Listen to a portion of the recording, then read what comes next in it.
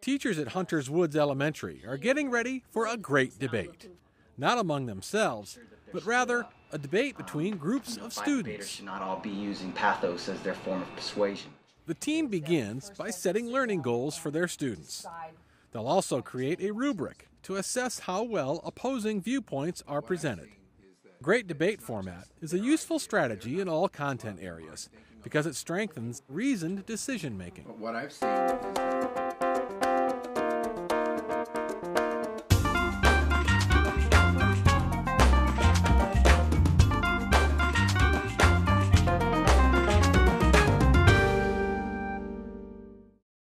At the beginning of the year, Mr. Azimi taught us that in great debates, no one cares about your opinion. If you state your opinion, you have to back it up with research, or else it, no one cares.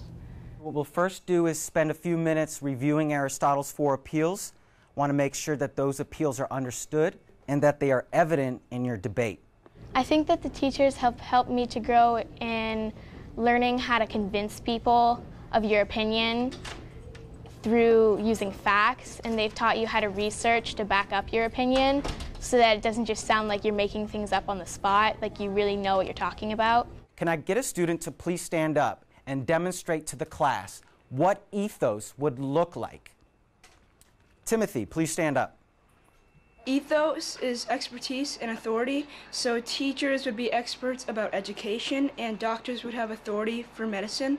And so, in a debate, you could say, This doctor has proven that this toothpaste clinically cleans your teeth better than other toothpaste. Tim, would you use an attorney to be credible on toothpaste? No. A dentist would be credible Yeah. about toothpaste, correct? Yes. Very good. Thank you, Tim.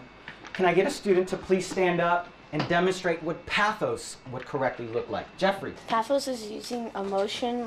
So if you want a new iTouch, you can say, uh, Dad, don't you love me? I have uh, straight A's. I'm advanced in math. I get full points on my SOLs.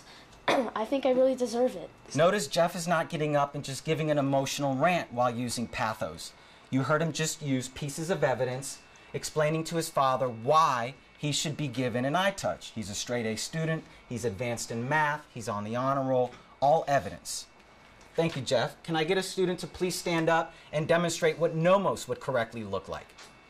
Jenna. Um, nomos is using shared cultural connections and beliefs to like persuade. So like you could say, um, in the world we speak English, and um, our founding fathers have spoken English, so we could like we should keep speaking English in our world. Finally, can I get a student to stand up and demonstrate logos, the ability to logically reason? Justin, please stand up. Logic is evidence to persuade someone. And uh, I'm on the, uh, Dad, can you get me an iPod? Because I'm on the all A honor roll. My teachers think I'm a great student. I'm responsible with my cell phone. And this is a one week, one, once in a week, in, in a year opportunity where everything in Best Buy is 60% off. That's why I think you should get me an iPod this week. That'd be a very logical reason for your father to go get one. As ancient Greek instruction infuses today's lesson, teacher Yusef Azimi creates an exercise to help strengthen presentation skills. It's the ability to distinguish between inter and intra personal skills. Stands and sits with poise is an intrapersonal skill. Can somebody demonstrate what does it mean to stand and then sit with poise and confidence? Justin, can you demonstrate what that looks like? Excellent, Justin. Can you demonstrate what sitting without poise and confidence would look like? The most challenging part about preparing for a debate would probably be the research But I need the sources. I need to find them.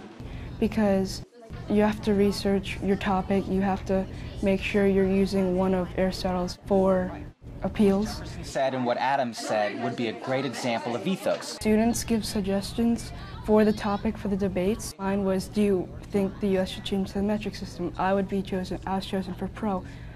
I may not honestly feel that way. I may want to be on the con team, but I would still have to research. Chairs, please shake hands on behalf of your teammates.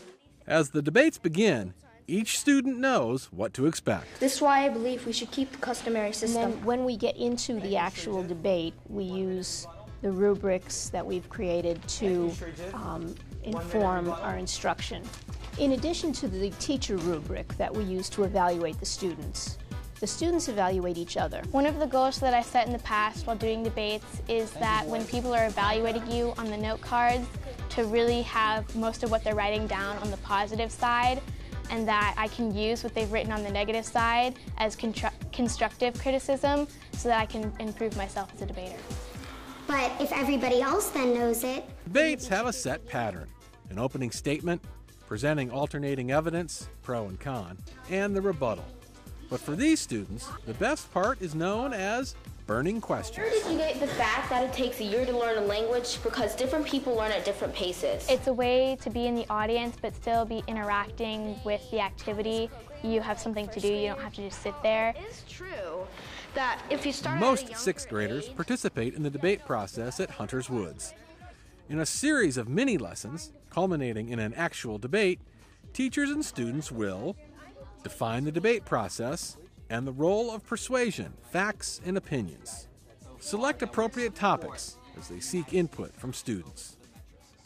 Assign roles and responsibilities because each group will have an opportunity to provide statements and rebuttals. Develop research skills to provide evidence for your point of view. Enhance persuasive writing skills as word choice and the language of successful persuasion takes practice. Practice public speaking skills to think on your feet in quick, smart sentences. Listen for logical, intelligent answers because the audience determines the success. If you believe that Pro convinced you that foreign language should stay in Fairfax County elementary schools. Debate really aligns perfectly with our POS and SOL objectives for the school year. Um, teaching all the language arts, I teach oral language, reading, spelling, vocabulary, and writing. And basically, I can cover all of those subjects within the Great Debates framework. Great Debates is working wonderfully here at Hunters Woods, and all those best practices that we're expected to complete as teachers, all of those best practices are lumped into one in Great Debates. For more information on how the debate process can work in your classroom, ask your FCPS librarian for the Great Debate Guide.